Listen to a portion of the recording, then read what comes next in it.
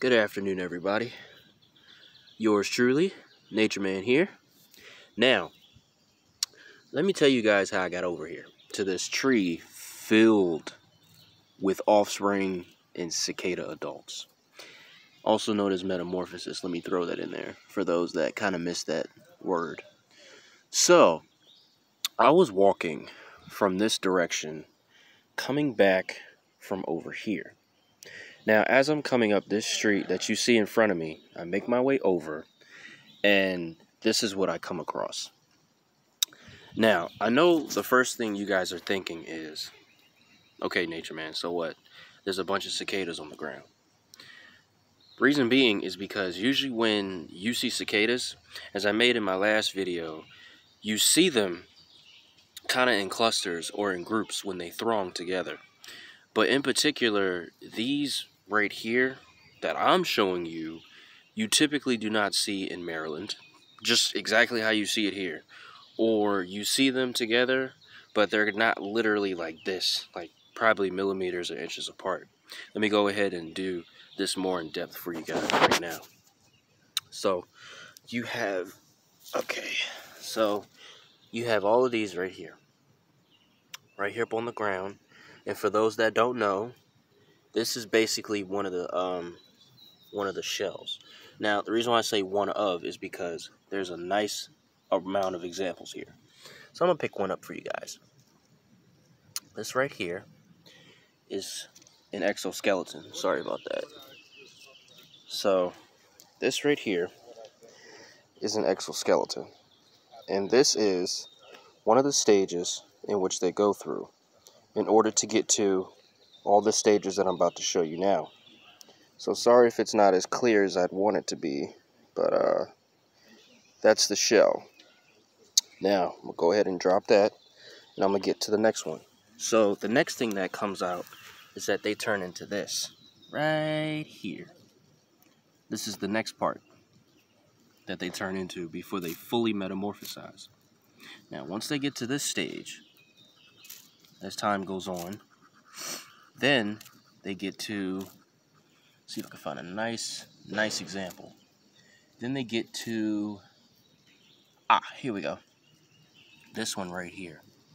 Now the other one was yellowish. This one is turning a bit brownish at the bottom, and then you have some yellow mixed with some some nice black color in there.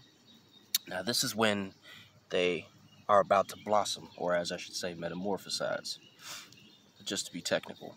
And when that happens, time goes further and they turn into this right here fully formed. Now, this is what they fully turn into, which is why I am using this tree in particular as a perfect example of the metamorphosis stages metamorphosis stages of the cicadas. Now, from what I've been learning from my previous video that I had made, these organisms in particular come around every 17 years. Now, I've been quite curious as to how, when they throng together, and what that means is when a group of animals or when a group of people get together in one area, or the other term is designated, but in this context, I'm using thronging. So, on this particular tree right here, from what I understand, it looks like either white pine or citrus. I don't know for sure, but from my observation, it's probably one of those two. But I'm going to look more in depth because I don't want nobody to quote me on that. But for anybody that knows, hey, as always, feel free to educate me because I love to learn. So feel free. Now, one thing I've been curious about with these type of insects is why they produce up to 100 decibels when they get in very large groups. Kind of like this one. That I do not know. Also, they come up from the ground. Now, I do apologize because there's no holes around this tree. But I'm going to go ahead and do a slow walk around so you guys can see exactly what I'm talking about. By the way, these are all the exoskeletons, or I should say molts, of the cicadas. and also the fully adult phases of them coming out. Some of them have died metamorphosizing, some of them have damaged wings, some of them have fully formed, some of them are having trouble, some of them are not having trouble. But I'm definitely doing a nice close up of this. And I'm making this video long on purpose to give you guys a more in depth understanding of these organisms. Now, they don't bite, okay? And they're safe to handle. In some third world countries, they actually eat these type of insects. Uh, some in particular, I would say Cambodia is one of them. Um, for my recollection, I would say Vietnam. And probably a few others, but, you know, if you guys know any others, feel free to tell me, you know? Um, I don't know how they taste, so I can't help you guys with that, but, um, in particular, I thought this was a perfect, perfect example of the um the cicadas and how they metamorphosize into what they are, fully grown up and stuff like that. Now, as far as like temperate or I would say I don't know rainforest maybe.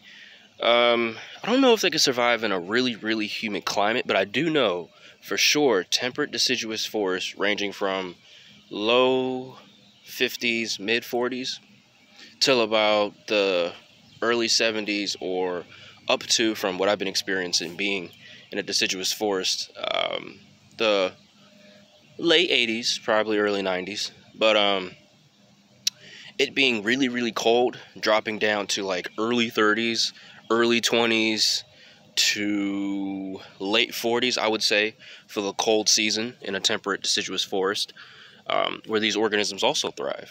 Um, now, as far as food wise, they, let's see, I do not know. From the research that I've done, didn't really say what they eat. That's still a mystery um, to me, that is. And they also come in green. Uh, they come in this color as well, with uh, red eyes and yeah, I mean this this this is an interesting species, I should say. yeah. Oh yeah. Oh yeah. These guys are everywhere. Not exaggerating. Like they are literally everywhere. Up and down the tree, all around the ground. They're everywhere. Well, as usual, stay tuned for more content. Nature Man appreciates all the support. Believe it or not, I really, really do. And I will get back up on my flow with constantly giving you guys content. Speaking of that, be prepared for chapter 3 in my book. I'm excited, but be prepared. Why would you knock him off the tree like that, Mr. Cicada?